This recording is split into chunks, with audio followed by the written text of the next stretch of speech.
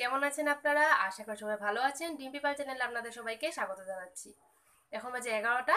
আজকের ব্লগটা আমি এখান থেকে স্টার্ট করছি।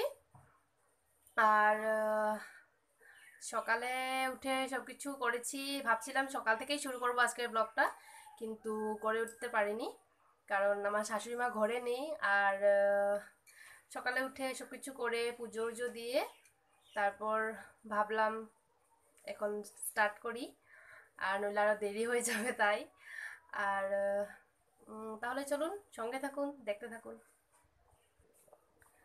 আজকের মেনু হবে আমার ঝিঙে তরকারি।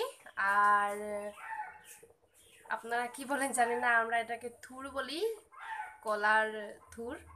সেটা বাটা করব। আর ছোটো মাছের পাতুরি। ছোটো মাছের পাতুরিটা হয়ে গেছে। এখন ঝিঙের জন্য ঝিঙে কাটবো। আর থুর বানাবো। আর ভাতটা আমি বসিয়ে দিয়েছি, সেটা হয়ে হয়ে যাচ্ছে।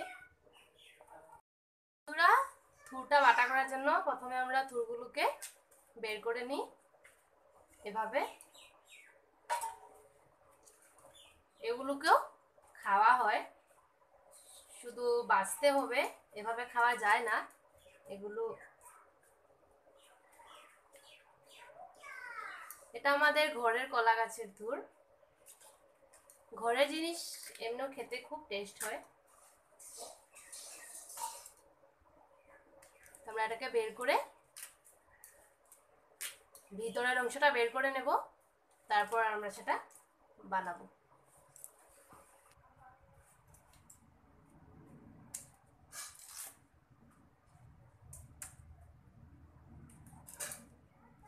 তো বন্ধুরা এগুলো করলে হাতে দাগ লেগে যায় কালা কালা হয়ে যায় হাত নখ। দেখতে খুব নোংরা লাগে।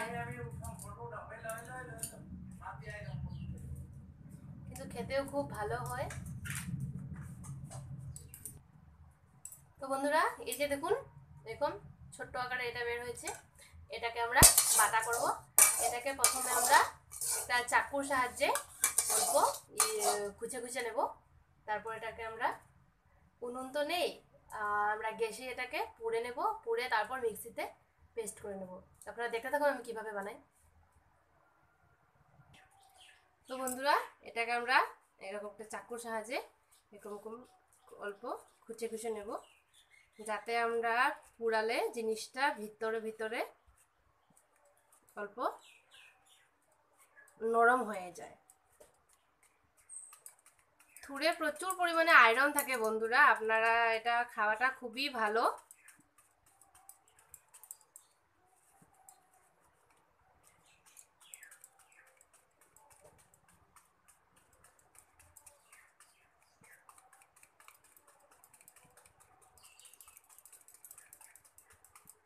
তো আমার এটাকে এভাবে খোঁচা হয়ে গেছে। এখন আমরা এভাবে করে এখানে পুড়িয়ে নেব।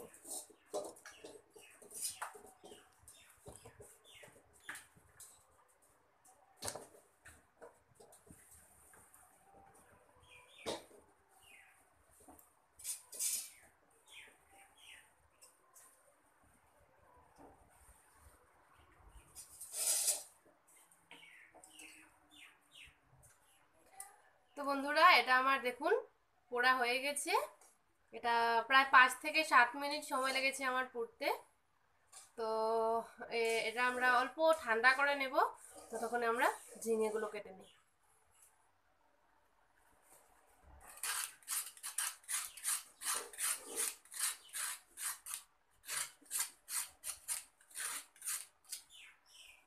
আজ খুব গরম পড়েছে বন্ধুরা, খুব রৌদ্র দিচ্ছে বাইরে।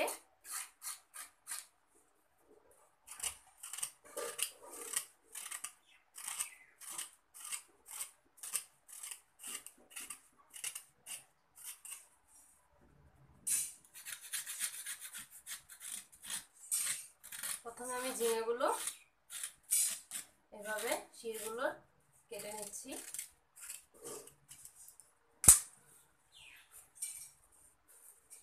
দেখুন ঝিঙেগুলো আমার শিরগুলো কাটা হয়ে গেছে।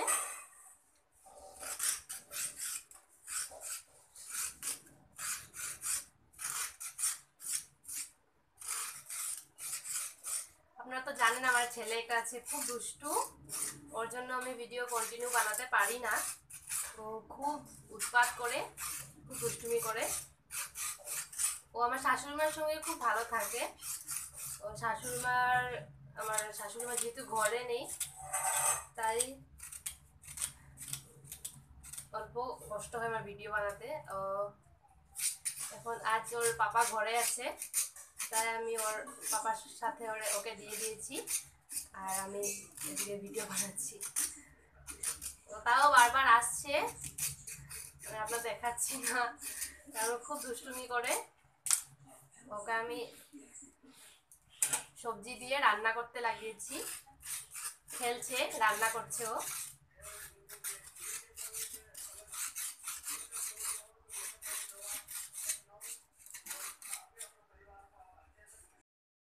তো বন্ধুরা, আমার ঝিঙে কাটা হয়ে গেছে।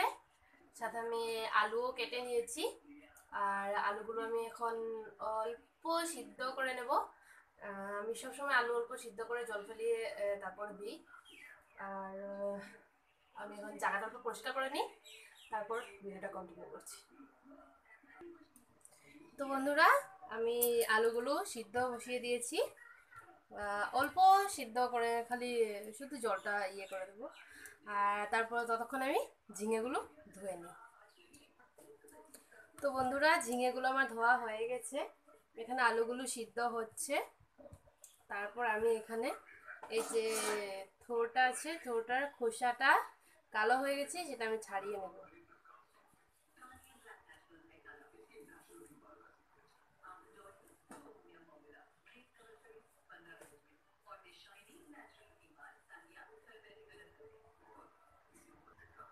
তো ফ্রেন্ডস এটা আমরা খোসা ছাড়িয়ে নিয়েছি।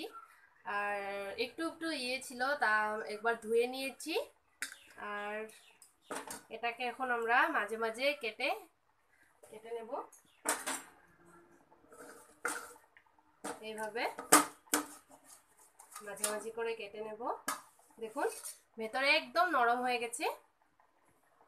আর এভাবে ছোট ছোট করে কেটে নেব। কেটে এই এইভাবে এটা এটা এটা একটু টাইট হয়, এটা ভালোভাবে সেদ্ধ হয় না, তাই এই টুকরোটা আমরা ফেলে দেব। দেখুন বন্ধুরা, আমার হাত একদম কালো কালো হয়ে গেছে এই থোরটার জন্য।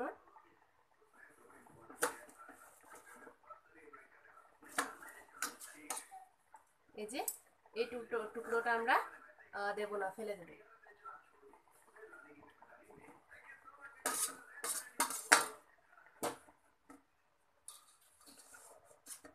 আমাদের আলুটা সেদ্ধ করা হয়ে গেছে। ঠিক এই টুকরোটা আমরা এভাবে কেটে নেব। এই টুকরোটা আমরা ফেলে দেব।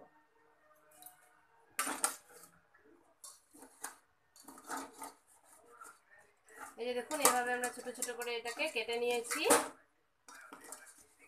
এবার আমরা এভাবে মিক্সিতে তো এই দেখুন, আমি এখানে মিক্সিতে থোরগুলো কেটে, ছোটো ছোটো করে কেটে নিয়ে নিয়েছি। আর এখানে ছোট একটু করে আদা দিয়ে দেব, আর কয়েকটা কাঁচা লঙ্কা, আর দু চার কুয়া রসুন দিয়ে দেবো। বাস, এইটুকুতে আর- আর আমাদের এখানে কিছু দিতে হবে না, শুধু অল্প সর্ষের তেল আর অল্প নুন দিতে হবে, আর আমাদের থুরবাটা রেডি হয়ে যাবে। এটা আমরা মিক্সিতে অল্প গ্রাইন্ড করে নিই।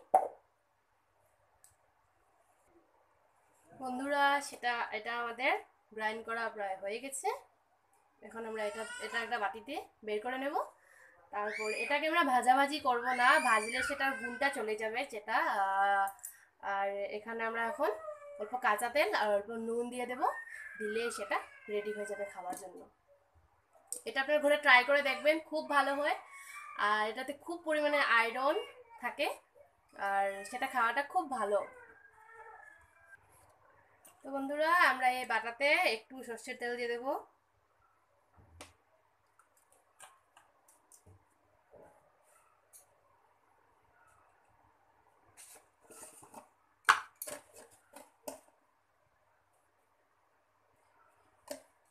অল্প নুন দিয়ে দিলাম। এখন এটাকে এভাবে ভালোভাবে মিক্স করে নিলে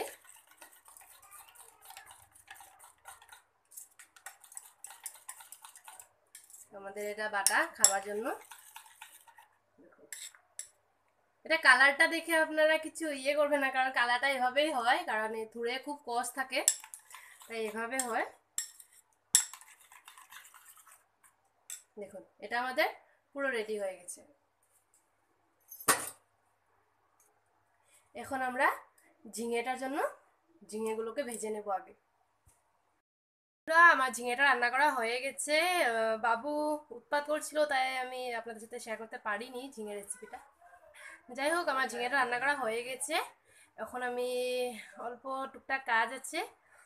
বাবু খেলছে, আর টুকটাক কাজ আছে সেগুলো আমি শেষ করে নিই, তারপর আমি ভিডিওটা কন্টিনিউ করছি। তো বন্ধুরা, এখন দুটো বাজে, আমার প্রায় সব কাজ শেষ, আর খাওয়া দাওয়াও শেষ। আর বিকেলের কাজও প্রায় শেষ। আমি এখন বাবুকে অল্প ঘুম পাড়াবো, অল্প আমি রেস্ট নেব। রেস্ট নিয়ে আমার মেজ কাকি শাশুড়ি ঘরে মনসা পূজা হয়, সেখানে মনসা পুঁথি পড়তে যাব। তো আজকের ভিডিওটা আমরা এখানেই শেষ করলাম।